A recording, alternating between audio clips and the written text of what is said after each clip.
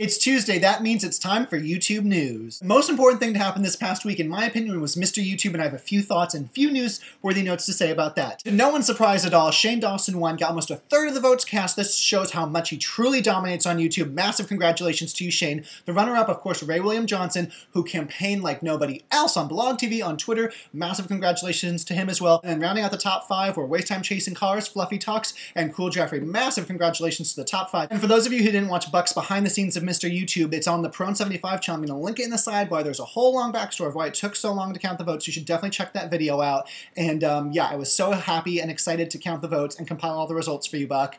You are awesome. I would do anything for you much love. Something I found so hilarious this week, Failblog was featured and they had this whole special behind the scenes at Failblog video that they put out and YouTube was just all over Failblog this week. They used to hide Failblog from the top 100 and they would um, shut down Failblog's channel like every other week and now they are sucking at the teeth to Failblog because of course they bring in them the money.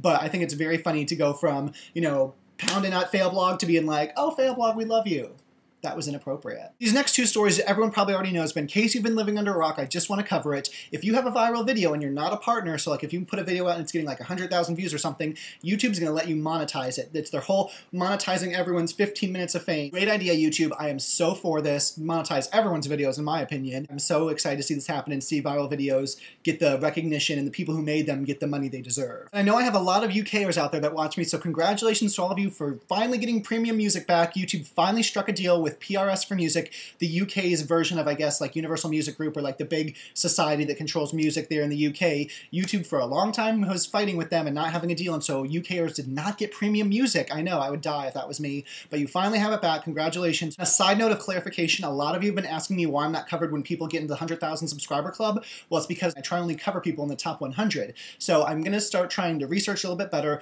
to recognize those amazing people who get the 100,000 subscribers because that is a huge deal, a big mark, but just for clarification purposes, I usually try and just focus on the top 100 on winners and losers, but I will try and tweak it now because I know you all wanted to give, hear me say, big congratulations to uh, Pogobat Dan Brown and Ray William Johnson and a few other people who I can't remember right now. And now for our new up and coming YouTuber of the week. I haven't chosen a female yet, so this week I decided I'm going to choose a female. I'm going to scour the internet and find the best female there is, and I found it. I know I talk about a lot of YouTube musicians, but this is the best female musician out there. Her name is Megan Tonjes, and she is amazing. She just put out her first music video, and what was so awesome about it is that she asked for clips from YouTubers, and her music video is just sprinkled with different clips of YouTubers in it, and it's so amazing, and it's people you know and love too, like Michael Buckley and x Samantha Nicole, and Kristin Saine, and J Stevens428, and just all these wonderful, amazing people, and she just did such a good job, and if you check out her videos, you see that she totally interacts with her audience. She has this thing called Request Tuesdays, where you, yes you, can send a request for a song you want to hear her sing,